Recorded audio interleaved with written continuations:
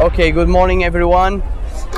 And once again, um, thanks the Ophtec team, the Portuguese Ophtec team, for the, this very nice invitation. It's a great honor for us to be here.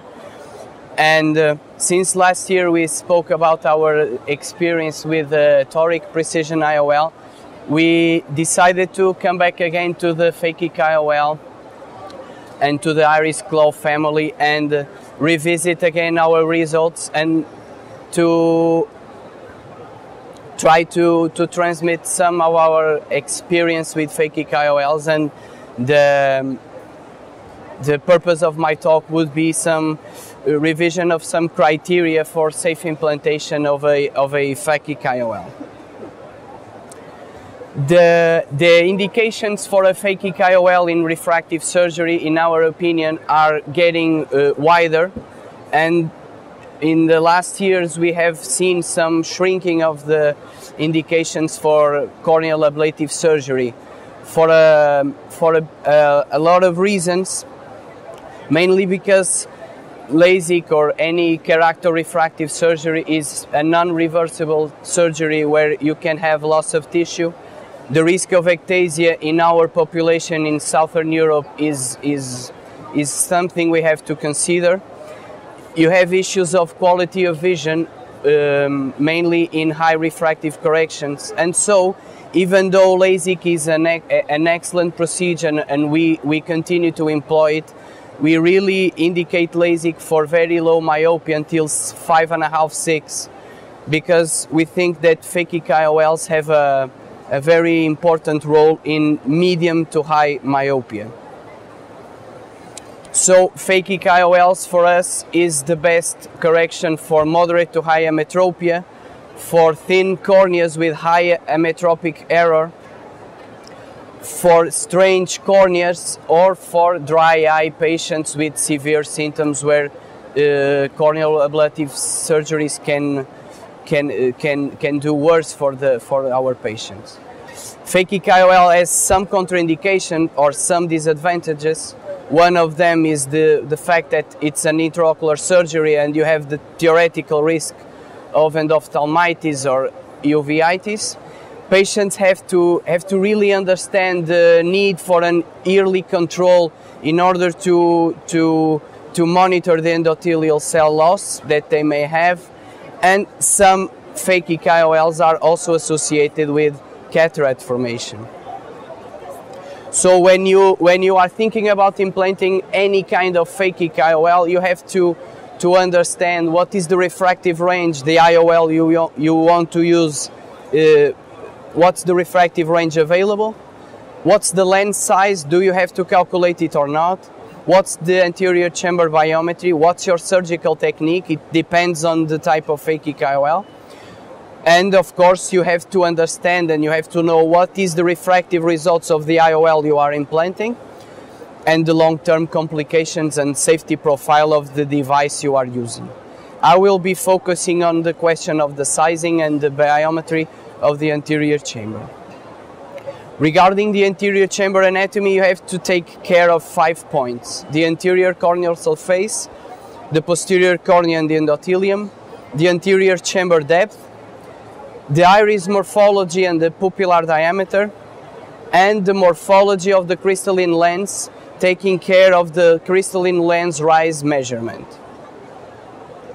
For the anterior corner surface, our main goal is to be able to fine tune the calculation of the IOL, most importantly for the toric IOL, and we preserve the toric phakic IOLs for regular astigmatism.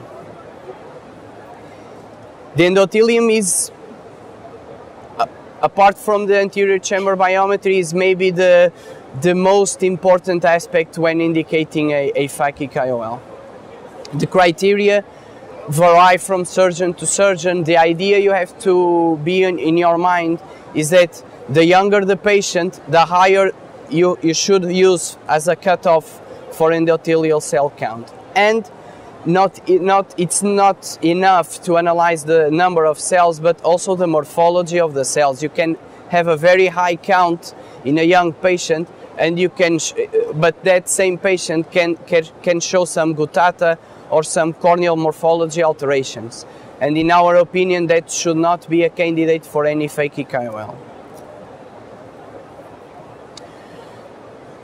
Regarding endothelial safety, there's a very nice paper from the Dutch group, one of the groups that has the one of the most experienced, uh, one of the, the, uh, the, one of the most uh, big, bigger series of papers with the Artiflex lens, and they were even able to to develop a, a prediction model uh, taking care of the preoperative ACD and the critical distance that you are predicting to have in your surgery, you can even estimate the mean rate of endothelial cell loss that you have and even how many years will the IOL survive in the in the anterior chamber before having to be explanted because of loss of endothelial cells or uh, or lowering of the critical distance.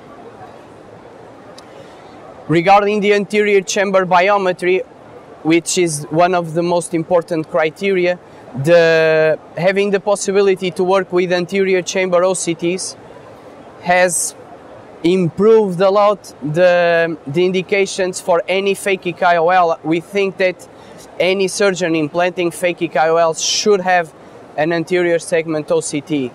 And why?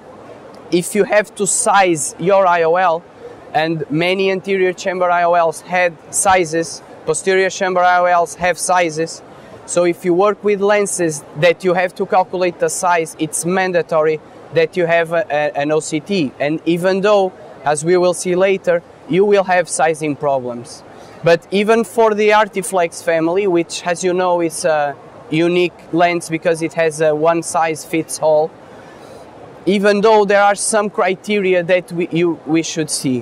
One of them is the crystalline lens rise, which is the distance between the crystalline and the plane of the insertion of the iris. So if you have a very high volt on the crystalline lens, you should aim for an IOL that has a higher volt also in order to avoid contact with the iris and contact with the crystalline. And sometimes many patients can be excluded from a phakic IOL because of the concave, uh, convex morphology of the iris. and there are some papers uh, showing some cases of glaucoma, uh, pigmentar glaucoma dispersive syndrome when the iris rubs the, the, the IOL in cases where the, the volt was too, too high. So the lens sizing is a critical step in the preoperative evaluation and the recent develops in anterior chamber imaging, evaluation, and biometry have overcome many of the problems, but most of the problems with phakic IOLs and the, mo the most important aspect of posterior chamber IOL users is the lens sizing. So it is why it is it is why it is one of the main reasons that the Iris Claw family has a unique advantage. There is no sizing. You can have criteria not to implant, but once the anterior chamber is okay, it's, it, it, it's not a problem that you will have to face. So anterior chamber angle supported IOLs with over or undersizing can have glaucoma or endothelial cell loss. And in the posterior chamber, we are talking about glaucoma and angle closure with excessive size and the undersizing can lead to rotation of toric IOLs and cataract formation. Very important for those using anterior, anterior chamber IOLs is, is that the vertical internal diameter of the chamber is higher than the horizontal white white. It's a very important aspect to take in care when, when having to measure the IOL, as we shown in 2011. So for me, working with the Iris Claw family, and having an anterior segment OCT, I can make an endothelial safety profile of my patient. I can have a preview. I can aim I can aim and calculate if I will have the 1.5 critical distance that most studies argue in favor. And one feature of the IOL of the Artiflex family is that the, the volt of the optic is already almost one millimeter, it's 0.87. So I can implant this kind of IOL in very in higher crystalline lens rise patients that than I would implant a, a an ICL or a, a posterior chamber IOL. And this profile is even different for the same same kind of patient with the same ACD preoperative if using an artisan PMMA lens.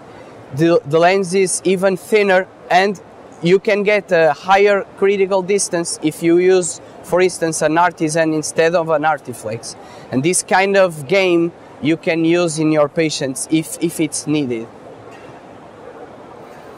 So for users of posterior chamber phakic IOL, really the, there is no clear anatomical correspondence between the external measures we make and the internal measures of the sulcus. The only way to do it is with the UBM devices, which have a higher technical uh, difficulty, is more more technical dependent, and you really, if you rely on UBM, you really have to have a special technician or yourself very well trained to do it. So, regarding the competition, the ICL sizing is a big issue it is estimated that 10 to 15% lenses have some error in sizing, not meaning that they have to be explanted. Uh, the explantation rate of an ICL because of incorrect size, at least in the FDA study, was 1.5%. But you can have patients like in the upper picture with very high volts or, or patients with very low volts and you have to follow them very carefully in order to avoid glaucoma or cataract. And, and these are the safety features for the crystalline lens rise. For an ICL, I think 350 is, is a decent cutoff. With the Artiflex, we can go even, even higher. To, and even though we avoid some pigment dispersion and, and glaucoma. So, in regarding of the sizing, and this is a very critical issue, the Iris Claw family being a one size fits all really fits in, I would say, 98% of at least my practice of phakic IOLs. Pupil, pupil diameter, of course, is, is a matter of, of importance in phakic IOLs and in LASIK, and we all know that in very high pupillar diameters, we should avoid any kind of refractive surgery.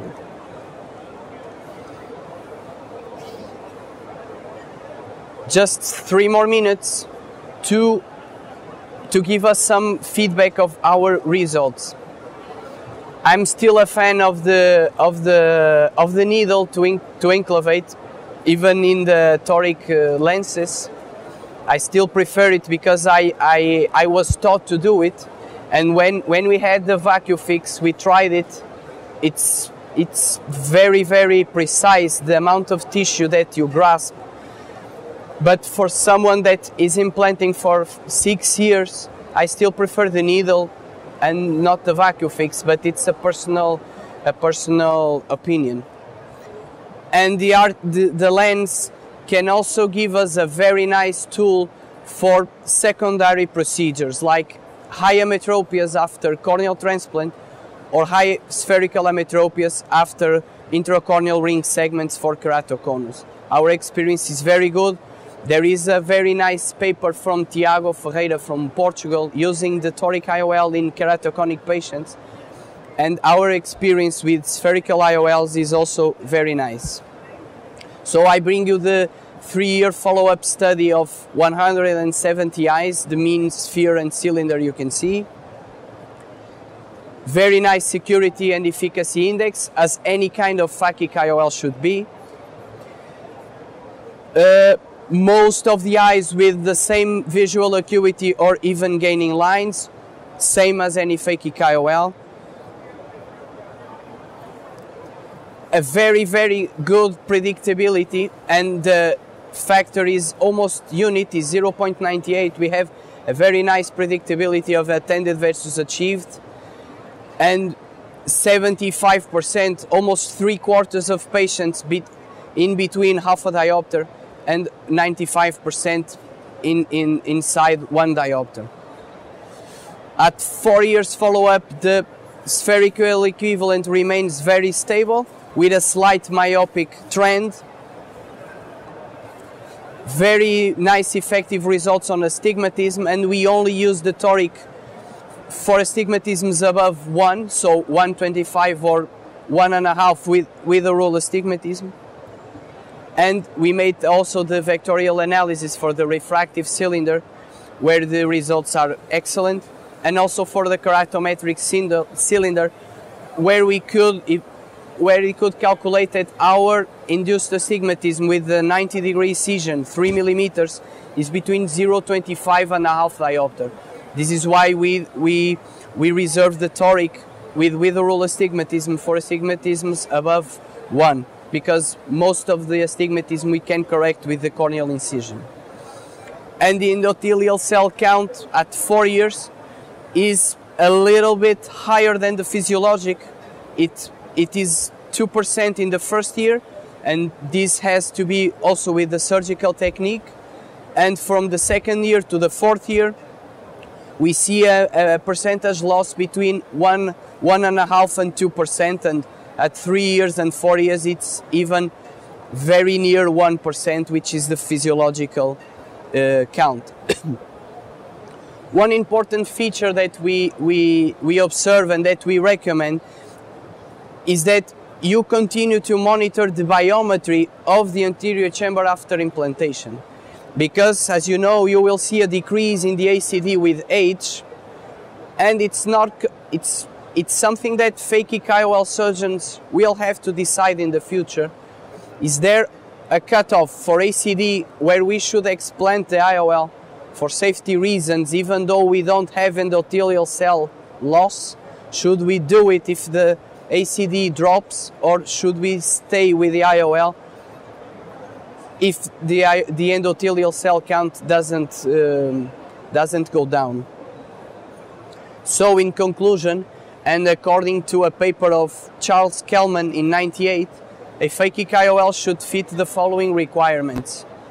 The optics should not damage the anterior chamber, should not be in touch with the peripheral corneal endothelium. The IOL should be flexible, should be placed in the largest diameter of the eye.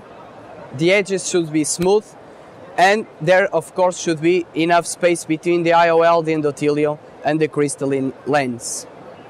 For the future, we are very, very anxious for new material for the iris claw. This material will give us a higher range of the optic corrections and I'm especially thinking of hyperopics and the phakia correction. With a thinner with a thinner optic with a thinner lens and even though in with a safer endothelial profile. And they just told me that the first multifocal optics have been implanted the results are i think very positive and we are hoping to have it in 2016 Thank you.